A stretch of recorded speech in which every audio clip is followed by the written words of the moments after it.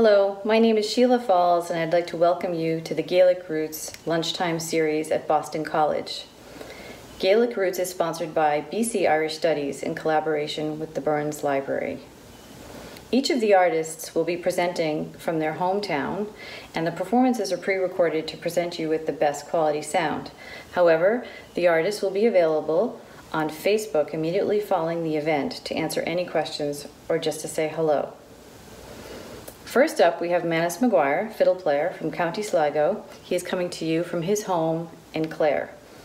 Manus has a new CD out, the Copper Plate Sessions, and you can find his website posted at the end of the performance.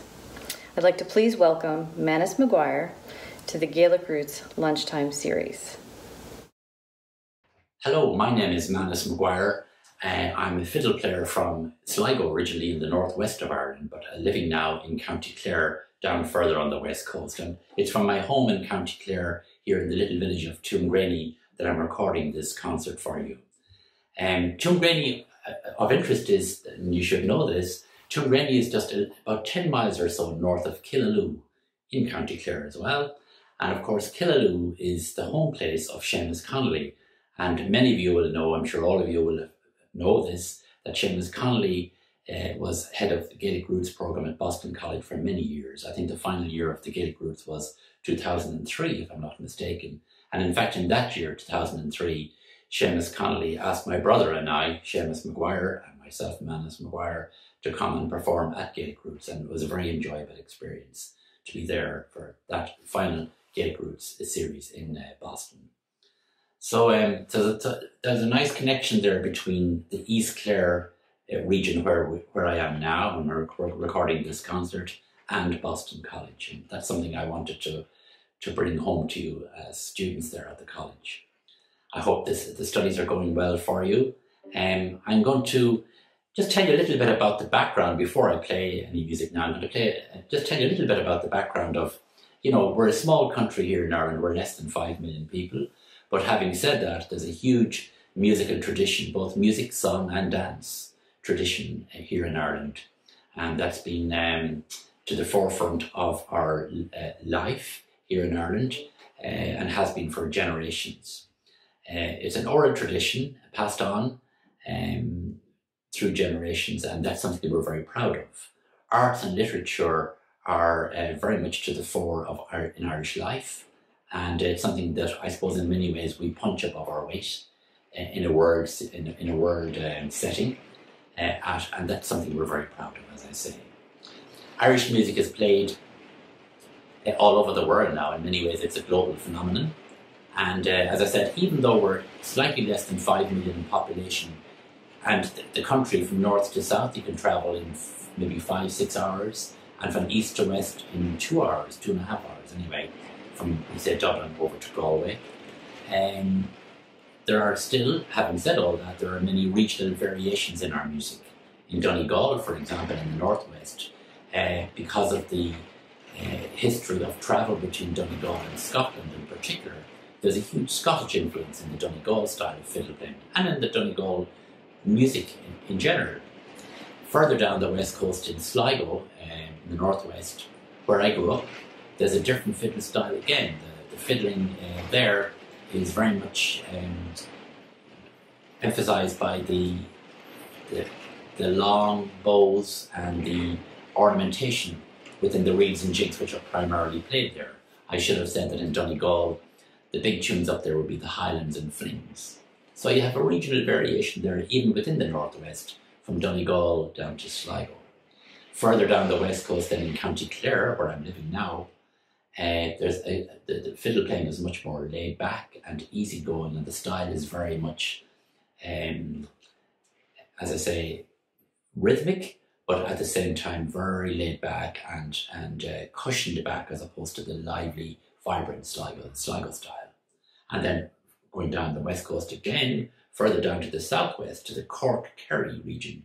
That border there between Cork and Kerry is known as Sliabh Luachra uh, there's a different style again. The, the, big tunes down there will be the, the slides and polkas, and um, there's again there's a difference in the in the um, rhythm in the playing and, and in the tune type. So you know, there's a quite a variety of uh, fiddle sounds around the country, so there's different styles there. But in many ways, now with travel uh, and the social media, all of these tunes, it's a big melting pot and people play different styles and um, people from Kerry might sometimes play Sligo tunes and in Sligo style. So people are attracted to different music, not just within Ireland, but we'll say Irish musicians listening to Scottish music, to music from Cape Breton and all of that. So there's a whole lot of things going on there. And I'm sure you're all very aware of that. I know in Boston, there's a big uh, influence of the music of Cape Breton as well, and I'm, I, I'm, there's something I'm very aware of, and the Cape Breton fiddle music is something I love. But I'm going to open, having said all that, now I'm going to open with a selection of jigs, and as it happens, the first tune is from the Sliabh Luachra, well, it's certainly associated with the Sliabh Luachra area that I referred to earlier on. It's from the playing of Denis Murphy and Julia Clifford. It's, a jig called the uh, the Humours of Lisheen. And I'm going to play after that then the Hag of the Churn. And then the third jig is called Paddy Taylor's. And Paddy Taylor was a flute player from County Limerick, which is very near me here. Clare and Limerick are on Shannon side together. And uh, Paddy Taylor was from County Limerick, but lived most of his life in London, England, and was very well known in the music scene, the Irish music scene in London for many, many years. And this is one of the many jigs that's associated with Paddy Taylor, simply called Paddy Taylor's jig. So three jigs to start with, the uh, Humours of Lisheen, the Hag of the Churn and Paddy Taylors.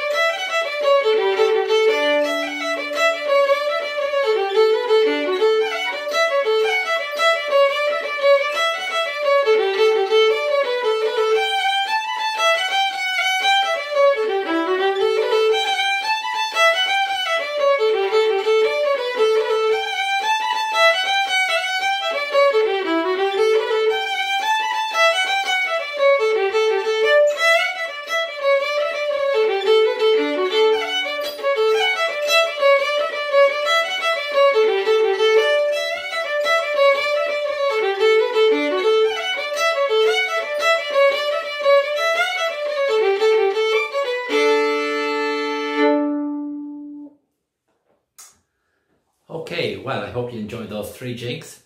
I'm going to continue now with uh, playing a selection of hornpipes. Um, the first of these, I suppose, I did talk about briefly there about Donegal fiddle playing, and it's very much characterised by the short, snappy bow. So you'll hear that bow bow style in the first of these hornpipes is one I'm playing since I was a kid growing up, and I'm not sure if the origin origins of the tune are in Donegal or not. I can't remember where I first heard it, but the tune is called Tailor's Twist. And then the second hornpipe is one called Cronin's, and the third one is called Sherwood Rangers. By the way, just for any of you who are taking note of all the names here, I'm very happy to send over an email of my set list to Sheila Falls Johan. And if any of you want to pick up a copy, I'm sure Sheila will be able to give you the set list. Because sometimes it's hard to remember all the names and the actual spellings of and all of that. So I'm, as I said, I'm very happy to do that. So I, will continue now with these three hornpipes, Tailor's Twist, uh, Cronin's and Sherwood Rangers.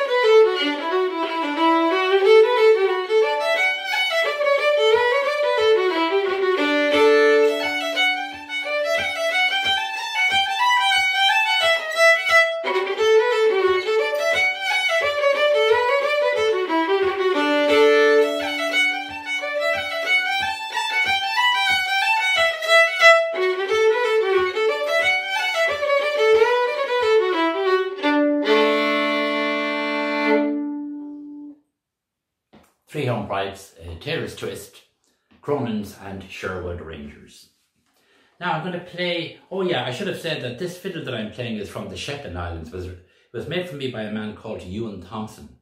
And Shetland is, um, the reason I'm saying that is because Shetland is a great uh, area for fiddle music. Shetland Islands are about 200 miles off the northeast coast of Scotland, between literally between Scotland and Norway. So from Aberdeen in the northeast of Scotland up to Lerwick, which is the main town on Shetland, it's about um, it's about the same distance to travel there as it is from Lerwick over to Bergen in the western part of Norway. So there's a, there's a very rich uh, fiddle tradition in Shetland, and I go up and down there, been for many years. But this uh, fiddle is, is from there, and I just thought I should tell you that. I'm going to change now to another fiddle here, so I'll just be out of camera for a minute. And uh, this other fiddle is uh, was made for me in Ireland by a man, a, a Dutch man called Mick de Hoyk, and he's based out of Dublin on the on the east coast. So I'm tuning the fiddle a half tone down here because I'm going to play for you a slow piece. It's a, a lovely air, song air that comes from County Waterford, uh, down in the southeast part of Ireland. And it's one of our best known emigrant songs in the Sean Nós tradition and it was written by a man called Pádraig Ó Mileadha, who comes from Sliabh Gua, but the actual name of the tune is called Sliabh Geal gCua. It's um, to do with the a mountain range down in the west part of Waterford, which is known locally as the Deise Country, D-E-I-S-E, Deise Country, West Waterford. So it's a beautiful song here from that area called Sliabh Gal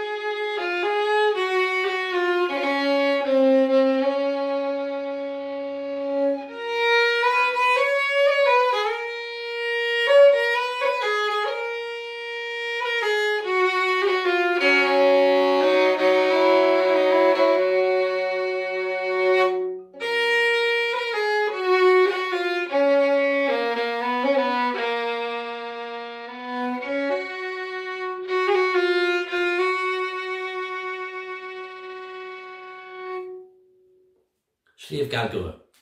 And as I said, the fiddle is tuned to half tone down, and I like to do that for the slow airs. So that represents, I suppose, the song part of our tradition. I don't sing, but I play the fiddle. And as I said, the song air is something that I wanted to include on, a, on this program. So now I'll go back to the other fiddle again, and uh, I'll play a selection of jigs this time. Uh, these are these are jigs that I um, tend to play when I open a set here in, well, of course, this year we've had no uh, live concerts in Ireland, uh, apart from at the very beginning of the year, of course, before this pandemic struck. So earlier in the year and maybe last year, I was opening my sets with this particular selection of jigs, and they're all traditional jigs, these four. Uh, the final two, the third and fourth jig, are definitely played quite a bit in sessions over here, and I think they are in the States as well. I'm sure you know the concept of sessions where people all just gather together and play some music in a, a bar situation. And that the sessions are very popular here in Ireland and have been for many years. So those of you who come to Ireland to play music, that you'll know all about that. So the four jigs in question are Have a Drink With Me, which is a good uh, title, I think, for a tune when you're going to a bar. Have a Drink With Me. Uh, the second one is The Girls of Banbridge, then The Boys of the Town, and finally The Tar Road to Sligo. So four jigs for you.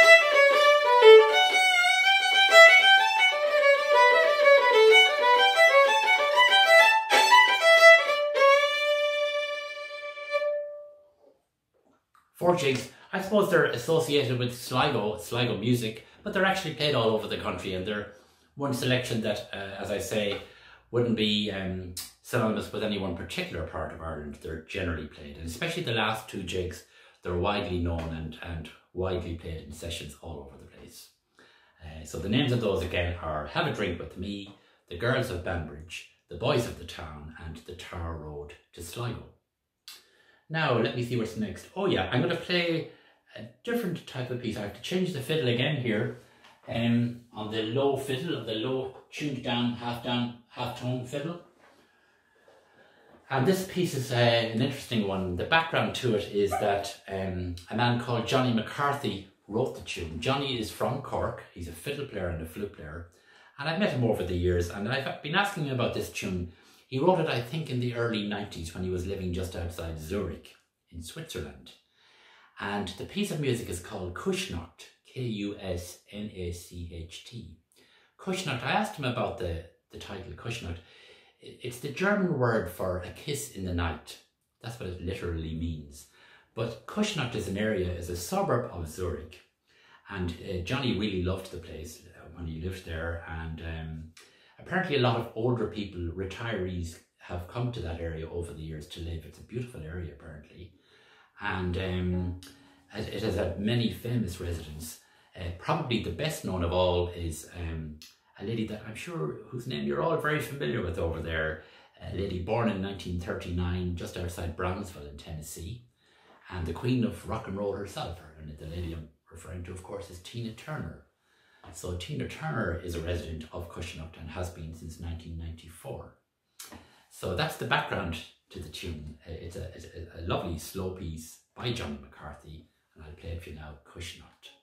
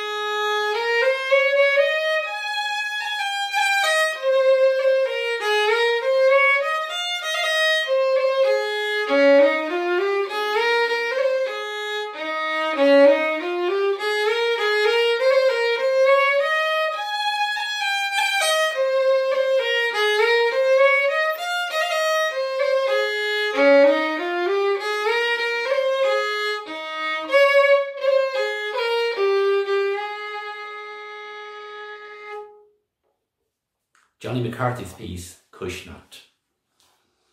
Okay, I'm going to change back the fiddle again, just bear with me. And um, I'm going to play a set of reels now that are very much uh, characteristic of Sligo fiddle playing. Sligo is the region in the northwest where I grew up. And this is a set of reels that I just recently recorded on my solo album just over a year ago, an album called the Copperplate Sessions. And um, the opening reel is, is known as Bonnie Kate. It's a very well-known traditional reel. The second one is the Hare's Paw. The third and fourth are the old and the new copperplate reels, hence the title of the copperplate set, this being the copperplate set, and the album is called the Copperplate Sessions.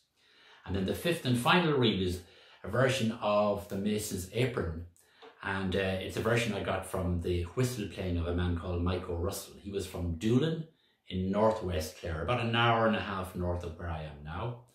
And Michael was one of three brothers, Michael, Gussie and Packy Russell, three well-known brothers in Doolin, the Russell brothers. And this was Michael's particular version of the Mason's Apron. So Bonnie Kate, the Hare's Paw, the old and new copperplate reels, and Mason's Apron.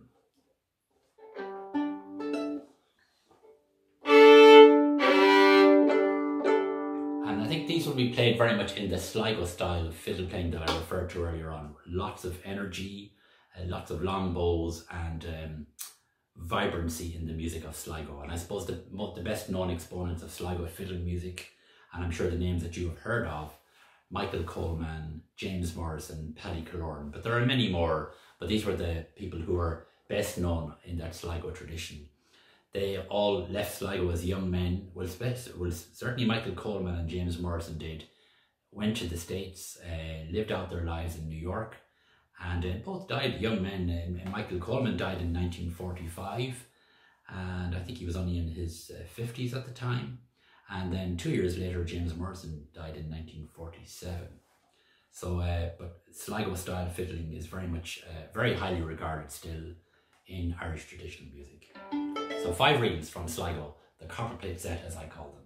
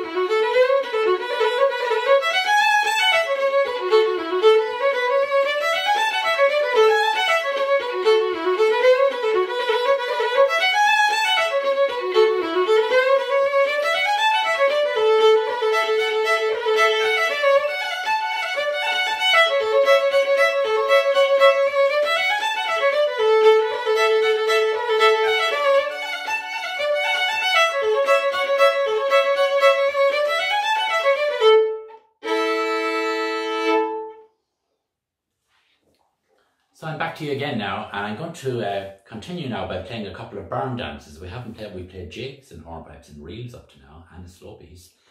And now I'm going to play um, a couple of barn dances. These are tunes that I recorded way back with the group Buttons and Bows. That's Jackie Daly, my brother, Seamus McGuire, and myself, and uh, Gary O'Brien. So um, that group still plays together in Ireland, primarily. But uh, we recorded this, these tunes, the Chaffpool Post and Bell of the Ball, two lovely barn dances. Chaffpool is a small little townland outside Tubbercurry in South County Sligo. And every year there's a South Sligo summer school happens in Tubbercurry. So if you ever if you're ever over in Ireland in July and you get the Willie Clancy School, the following week uh, every year is the South Sligo Summer School in Tubbercurry. And uh, Chaffpool is a small little townland, as I said, just outside Tubbercurry. Chaffpool Post and Bell of the Ball. These are two old traditional barn dances.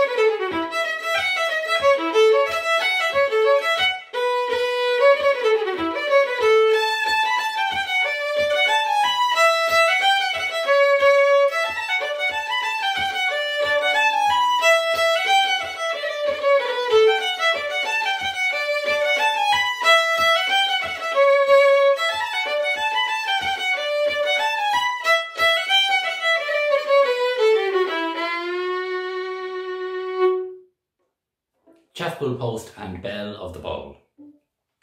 I'm going to switch fiddles again now because I'm going to play a slow piece. And I tell you now, um, this is another song air, just like the Sliabh Geal gCua earlier on. And um, this is a, an iconic song from the Oriel tradition. The Oriel tradition, Oriel would be regarded as the area in County Louth and the Louth Armagh border, Slieve Gullion, all around there and it's uh, it was written and probably composed to an air to an original air by Ó Doirnín. I was just checking my note there on that because I wanted to see his uh, his lifespan, 1700 to 1769, and he uh, was a writer of love poetry and a harper, Ó Doirnín. So the Oriel tradition, as I say, is over in the eastern part of Ireland, about an hour and a half north of Dublin, up around uh, just north of Dundalk in North County Louth, maybe South Armagh as well. And this is a song that comes from there, a song there, it's called Úrchnoc Chéin Mhic Cáinte. It's an Irish word, but again, as I said, I as I said earlier, I'll uh, the set list is written out, and I'll be happy to send it on to Sheila, and you can get it that way. So just for the correct spelling of all these tunes. So as I said, we're now I'm, I'm trying to represent most of the country, Donegal, Sligo, Cork, Kerry earlier on, and now I'm over in the Oriel tradition. So um, we'll, I hope you enjoyed this era. Working again, Vikancha.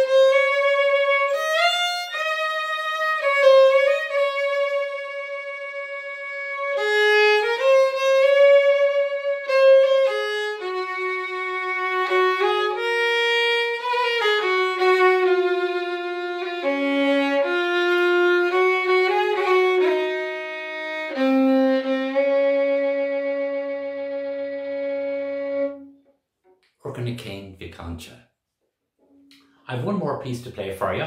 I just changed fiddles again. And I'm going to play now a selection of three reels. The first one is known as Martin Wynne's. It's one of the many tunes that Martin Wynne wrote. Now, just to give you a bit of background, Martin Wynne was from a place called Bunninadden in County Sligo. He lived from 1913 to 1998.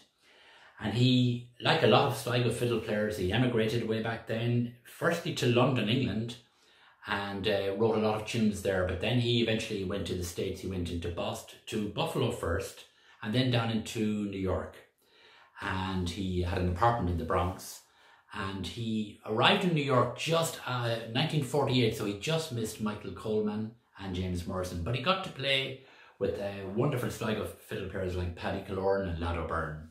And I was very fortunate as a young fellow when my first when I first went to the States to get to meet uh, and play tunes with Martin Wynne in his apartment in the Bronx. I think I, that was 1977 when I went over first. And uh, that was a very, I mean, it was a, a, very, an amazing time for me to get to meet him. I was, I was so delighted and to get to, to meet him and play his own tunes with him. This is one of his tunes, Martin Wynne's number three. And then the next tune after that is called The Pinch of Snuff. And then finally a tune called Music in the Glen. So three reels, Martin Wynne's number three, Pinch of Snuff and Music in the Glen. So I'm going to finish with these. But before I do, I want to particularly thank uh, Sheila Falls. Um, she was wonderful and so helpful in getting all this done. Uh, she asked me to, to do this show, of course, in real life, uh, as a real concert in Boston I was due to be there as part of my tour in October, but for, uh, for reasons we all know now, that wasn't going to happen. So I'm doing it from my home here and uh, I'm delighted to do it and I hope that you get some benefit from it. And uh, so I want to thank Sheila very much and I want to thank all your IT team over there who are uh, editing and helping to put all this together as well. I know they're doing a great job. So I want to say thank you very much to all of them. So I'll finish up with these. I hope you've enjoyed it. It's been about, I don't know, 45, 50 minutes or so. I hope you've enjoyed it and um, I really enjoyed doing it for you. So thanks very much from myself, Manus McGuire. Stay well and I hope to get to see you in, in real life the next time.